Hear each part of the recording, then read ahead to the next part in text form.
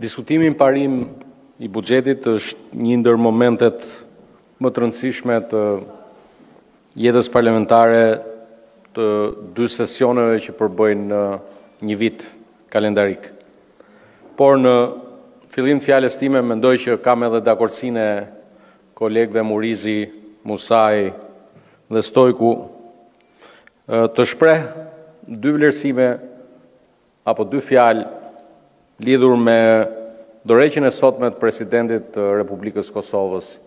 zotit Thaçi. Mendoj se ne si kuvend Duhet të shprehim gjithë solidaritetin me këtë akt prej shtetari të presidentit Thaçi për t'u vënë në dispozicion të gjykatës pa imunitetin dhe pa pozicionin e Presidentit të Republikës së Kosovës, por duke theksuar me zë të lartë dhe krenari kombëtare se lufta çlirimtare për çlirimin e Kosovës nga pushtuesi serb Nga gjenocidi serb është një luftë e pastër, është një luftë e drejtë dhe ka qenë dhe mbetet një luftë çlirimtare. Dhe në këtë kontekst do dua të nënvizoj duke shpresuar në dakordësinë e gjithëve që historia në asnjë vend të globit Nuk është shkruar dhe nuk do të shkruhet kurrë as me aktakuza e as me vendime gjykate dhe duhet t'i them sot çdo bashkëatdhetari kosovar se Kosova sot nuk është në një ditë vështirë, përkundrazi. Serbia duhet të ndihet sot në një ditë vështirë sepse Kosova po vendos një model dhe po vendos një standard tepër të lartë në marrëdhënien me drejtësinë ndërkombëtare. Dhe çdo prirje e çdo politikani apo media serbe për të etiketuar pavarësinë e Kosovës, shtetin e pavarur të Kosovës dhe këto akte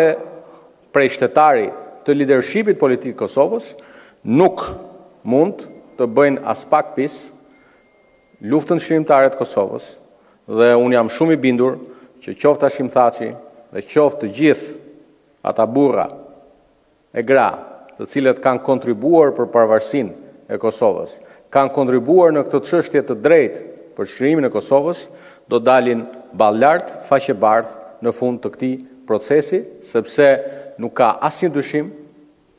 për askënd që të jetë i bazuar në prova të mirëqena, por ne besojmë e shpresojmë që drejtësia ndërkombëtare do të bëjë punën e vet shpejt, në kohë dhe ashtu siç vetë zoti Thaçi tha sot, nuk është koha për lamtumirë, por është thjesht koha për një transparencë përfundimtare pas 20 vjetësh dhe i uroj gjithë luftëtarëve çlirimtarë të Kosovës të përballen me çdo lloj aktakuze dhe me të gjitha gjykatat e mundshme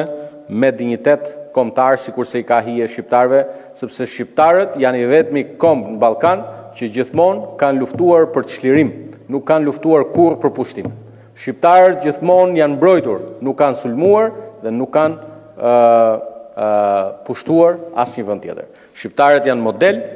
Dhe ky model është edhe sot mesazhi që ne duhet të çojmë në solidaritet plot me lidershipin politik të Kosovës, duke i uruar që të përballen me dinjitet, sikurse thashë më lart. E dyta, e nuk ka të bëjë aspak me të parën, por jemi në një situatë të vështirë. Njëri prej kolegëve që e ka kaluar betejën me Covidin, Zoti Roshi me të drejtë iu drejtua Kuvendit dhe u shpreh se duhet të respektojmë gjithë masat. Në fakt media publikon shpesh herë raste të politikanëve të papërgjegjshëm, sikurse është një zonjë që i bën bisht ligjit dhe besoj që ligji duhet të veprojë njësoj për gjithë. Kur gjobiten shtatëqind qytetarë në ditë, edhe Monika Kryemadhi, burri i saj apo kushdo tjetër duhet të gjobitet, duhet të paguajë gjobën dhe ndërkohë duhet të kujtoj që ky Kuvend ka miratuar edhe masa të tjera penalitete më të rënda, sikurse janë ndryshimet në Kodin Penal, ku nëse këto qytetarë nuk vënë mend dhe këta qytetarë me me dëshirë dhe me vetëdije bëhen përhapës të këtij virusi vrasës dhe kolegët që e kanë kaluar, por dhe nëntë kolegë që anëtarë të Kuvendit të Shqipërisë që janë duke u përballur me me Covidin, besoj që janë dëshmitarët më të qartë që ky është një armik vrasës I padukshëm, por që në pakujdesi mund të na mund të mund të jetë mund të jetë i parikuperueshëm dhe rastet në Shqipëri, edhe pse krahasuar me rajonin ndoshta mund të jenë më të ulëta, por kjo nuk do të thotë që gatishmëria duhet të jetë më e lartë. Për të kaluar te buxheti, sepse koha në dispozicion është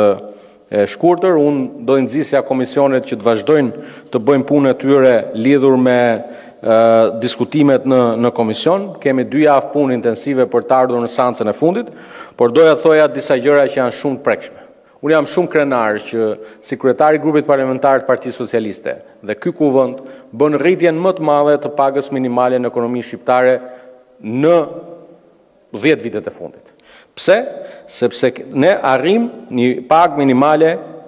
në 30.000 lekë. Pra çdo familje shqiptare ku njëri prej prindërve është në punë, i garantohet që të çojë minimalisht në shtëpi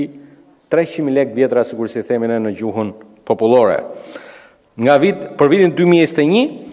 duhet të them gjithashtu që fal Falë miradministrimit financiar, ne jemi në kushtet që edhe pse jemi në pandemi, ku goditja ndaj ekonomisë ka qenë më e rënda në 10 apo 20 vite apo 30 vitet e fundit, ku tërmeti merr për rindërtimin pjesën më të madhe të buxhetit infrastrukturës, rreth dyqind e gjashtëdhjetë miliardë lekë, ne përsëri jemi në kushtet që të garantojmë një rritje të pagave të planifikuar në shumën e tetëdhjetë milionë dollarëve, e cila përfshin rritjen e pagës për funksion me për dyzet për qind të punonjësit shëndetësorë dhe me pesëmbëdhjetë për qind për punonjësit në sistemin arsimor, që do të thotë, e thënë me numra nominalë, janë 4.650 mjekë në kujdesin parësor dhe dytësor të cilëve u rritet paga në vitin 2021. Janë 13.765 infermierë dhe laborantë të cilëve u rritet paga në vitin 2021 me 40% Rritje. Janë 35.883 mësues të arsimit pasunivers, parauniversitar, të cilëve u rritet paga. E këto janë shifra konkrete, nuk janë 7 herë 7 bëjnë 42, po janë shifra të cilat kanë konfirmuar që ekonomia shqiptare, edhe pse në kushtet e kësaj flame që ka goditur gjithë ekonominë globale, sot miradministrimi i financave publike na bën të kemi mundësitë edhe të përfundojmë procesin e rindërtimit brenda vitit 2021 duke garantuar mbështetjen buxhetore për këtë, edhe të mos prekim pjesën më të rëndësishme të investimeve publike, të cilat janë të detajuara në tabelat e buxhetit, por tabelat e buxhetit duhen studiuar, Puna parlamentare e çdo deputeti është që të shohë me vëmendje të gjithë detajimin e buxhetit për sa i përket çështjeve të investimit dhe të alokimit të resurseve buxhetore. Dhe ajo që është shumë më e rëndësishme është që në këtë buxhet ne vazhdojmë të mbështesim reformën në drejtësi, sikur dhe vazhdojmë të mbështesim të gjitha bashkitë e vendit, qoftë me transfertën e pakushtëzuar, qoftë dhe me investimet. Tek reforma në drejtësi, Japim pesëdhjetë e tre milionë dollarë të tjera për gjashtëqind e gjashtëdhjetë e tetë personel shtesë. Dhe këtu gjej rastin të vazhdoj të shpreh mbështetjen e plotë për procesin historik të pastrimit drejtësisë nga ata gjyqtare e prokurorë të korruptuar, duke nxitur ecjen më tej të procesit vetingut, dhe goditjen e çdo gjyqtari apo prokurori që vazhdon të bëjë pazar me drejtësinë, sikurse janë rastet e fundit të zbuluara nga media në vend, ku gjyqtar apo prokuror në vetëdije të plotë të moskalimit të procesit vetingut vazhdojnë të bëjnë tregti me drejtësinë. Këto janë akte të rënda, të cilët nuk do të shpëtojnë pa u ndëshkuar, Dhe pa dyshim që do të dhe pa dyshim që ne e nxisim, sikurse është një prej detyrave të shtëpisë për Shqipërinë, që pas procesit vetingut, për ata gjyqtarë e prokurorë, të cilët kanë rezultuar, kanë rezultuar me problematika të rënda në pasurinë e tyre, të ndiqen penalisht dhe të zbardhen ashtu siç I ka hije një procesi që shkon deri në fund të prejardhjes nga i kanë krijuar ato pasuri dhe në fund gjej rastin t'i t'i falënderoj